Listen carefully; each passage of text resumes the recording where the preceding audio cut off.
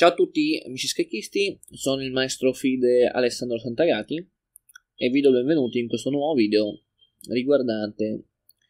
eh, come giocare la francese da, da, nero, come giocare contro la variante di spinta e dopo aver visto i primi due video siamo arrivati al terzo eh, in cui andiamo avanti sulla variante di Putin. Eh, nello scorso video mi ero dimenticato di accendere il nome della variante, diciamo che solitamente quando il nero gioca vi mostro all'inizio, quando si gioca E4, E6, E5, C5, C3, cavallo C6, cavallo F3, donna B6, di solito questo tipo di mossa, donna B6, eh, si chiama attacco Polsen, eh, della variante di spinta, e, e, la variante 3 è la variante cosiddetta di Putian. Eh, dopo 3 eravamo davanti con cavallo H6 che è la mossa che vi suggerivo, e dopo cavallo H6 il bianco gioca B4, C per D4, alfiere per H6, G per H6, C per D4. Chiaramente eh, per rivedere queste mosse vi consiglio di andare a vedere il video precedente dove ho spiegato bene eh, diciamo ogni singola opzione, le idee eccetera. Eh, questo è un video di approfondimento per andare av- avanti su questa variante di Putin. Dunque alfiere di 7, H3, torre G8, e, e la mossa accade da quella che avevamo visto nel video precedente. Come avevo accennato, adesso dobbiamo andare avanti per vedere due altre opzioni del bianco, cioè la, la mossa alfiere 2 e la mossa, tora, e, e la mossa tora 2. Per quanto riguarda alfiere 2, eh, il gioco è molto semplice nel nero. Il nero va avanti con torre G8, cercando di creare pressione su G2, pedone che deve essere difeso. E per difenderlo, diciamo che il bianco ha due opzioni: o a rocco corto, difendendo con il re. In questo caso il nero, il nero prosegue contro le G4, attaccando tre volte il pedone e si pone il problema di come difendere questo pedone. In realtà non c'è un modo per difenderlo, dunque non rimane altro al bianco che attaccare la torre con H3.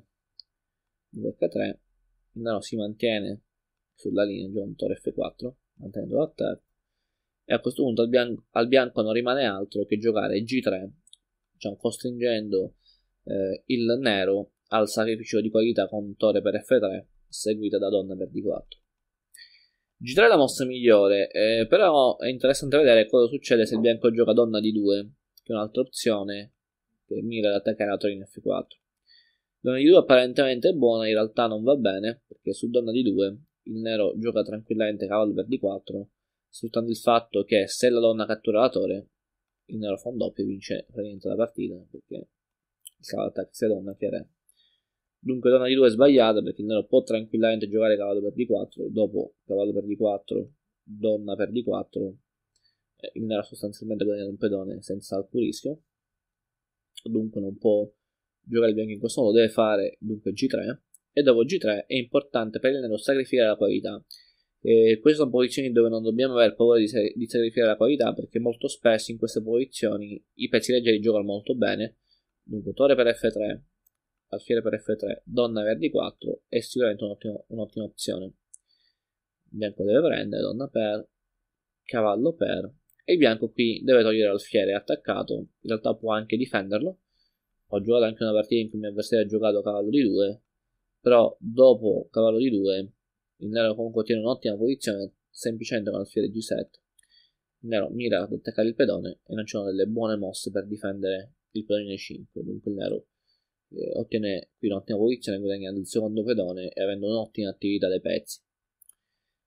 Altra opzione, oltre a cavallo di 2, potrebbe essere alfiere G2 che sembra la mossa più scontata, così da avere anche la possibilità di fare F4 in caso di necessità di difendere. Eh, in questo caso il nero ottiene un buon finale giocando a 5, perché adesso attacchiamo due volte il pedone B4 eh, pedone che deve essere diciamo difeso in qualche modo o eventualmente cambiato su A5 siccome non può essere difeso non ci sono pezzi che possono difendere B4 eh, non rimane al bianco che cambiare in A5 dunque B per A5 e dopo torre per A5 il nero crea un attacco fortissimo sul pedone in A3 che non può essere eh, diciamo difeso adeguatamente o meglio può essere difeso ma ciò vorrebbe dire avere i pezzi del bianco completamente passivi eh, per se il bianco giocatore D1 il nero va avanti tranquillamente con alfiere C5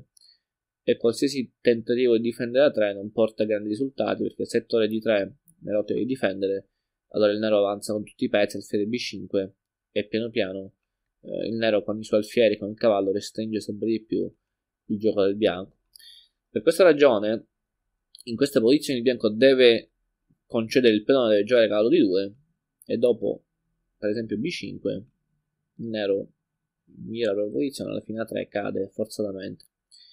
Se il bianco giocatore B1 nel tentativo di attaccare B5, il nero può tranquillamente giocare cavallo C2, torre A2, cavallo per A3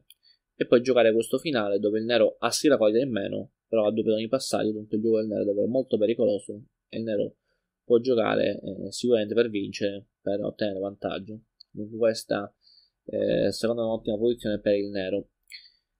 Torniamo un attimo indietro, come vi dicevo, dunque l'alfiere deve andare via, magari può andare su altre case, magari può provare eh, arrivare in H5,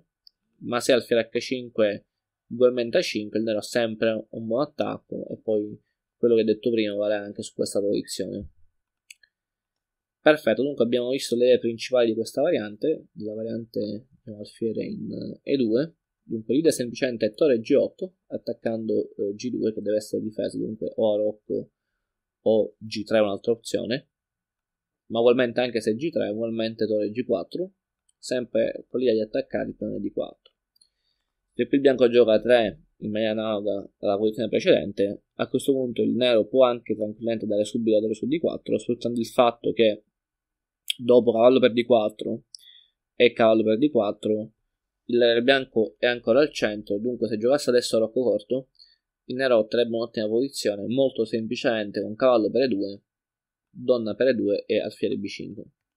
Poi riprende la qualità, chiaramente con vantaggio di materiale il nero qui ha una posizione sostanzialmente di netto vantaggio e dunque il nero non ha alcun problema eh, per questa ragione dopo cavallo per d4 il bianco ha 6 problemi non ha, uno, non ha uno sviluppo facile e se provasse magari a giocare cavallo c3 nell'ottica di uno sviluppo il più rapido possibile il nero ancora una volta qui gioca con a5 la mossa chiave in queste posizioni e dopo eventualmente b5 il nero può tranquillamente giocare e ancora una volta o cavallo per E2 o anche A4 con l'idea che poi il pedone B5 rimane eh, sotto attacco e mosse come torre B1 non possono essere giocate perché il pedone A3 comunque è sempre in presa, è sempre attaccato. E, e dunque se ancora una volta rocco corto il nero può giocare con molta tranquillità. Torre C8 attaccando C3 dunque attaccando indirettamente anche eh, l'alfine 2 e se il cavallo non so, prova cavallo per A4, dopo cavallo per E2, donna per E2 e donna in A5, nel guadagno un prezioso tempo attaccando cavallo e poi minacciando B5 e togliendo anche la possibilità di poter tornare su C3 perché il nero controlla la casa C3 con ben due pezzi, dunque non ha alcun tipo di problema. Eh, per questa ragione eh, la posizione del nero diventa molto forte e il bianco non ha mosse buone, quindi nero è sicuramente in vantaggio. E per questa ragione in entrambi i casi il nero ottiene un'ottima, una buona posizione e non ha grossi problemi. L'idea è sempre quella, torre G8 con torre G4, con l'unica differenza che se il bianco gioca G3, dopo H3 possiamo subito sacrificare, sfruttando che l'avversario è ancora al centro. Dunque il nero ha un dinamismo più forte. Se invece il bianco gioca Rocco, che è diciamo la mossa migliore in questi casi, dopo torre G4, H3 non è così conveniente fare subito il sacrificio, ma conviene forzare il bianco ad indebolirsi ulteriormente con G3 e solo dopo G3 allora va bene sacrificare in F3 e poi prendere in questo caso di donna. Non di cavallo, perché se prendiamo adesso di cavallo, col fatto che il bianco è geroccato e che l'alfiere non può più subire diciamo, questo tipo di tatticismo eh, sulla, sulla diagonale, allora il bianco qui si, svilupp- si svilupperebbe tranquillamente con cavallo C3 senza avere grossi problemi. Dunque su questa variante in cui il bianco rocca è fondamentale prendere i donna per cambiare anche le donne e dunque giocare un finale dove pur con qualità in meno, ottenendo poi infine due pedoni di vantaggio, possiamo giocare tranquillamente per vincere. Abbiamo sicuramente buone chance di, di, eh, di poterci riuscire. E Dunque abbiamo trattato la linea alfiere 2, nel prossimo video tratteremo l'ultima opzione di questa variante, eh, diciamo Tora 2, eh, che come vi accennavo anche precedentemente ha l'idea di difendere D4 tramite la torre. Dunque per questo video è tutto, Eh, vi ringrazio per l'attenzione, vi ricordo che se avete delle domande non esitate a scrivere sotto qui nei commenti, sarò felice di rispondervi eh, e aiutarvi diciamo, in questo studio riguardante la francese e la variante avanzata, la variante di spinta diciamo. Perfetto, dunque grazie ancora della visione e vi do appuntamento per i prossimi video.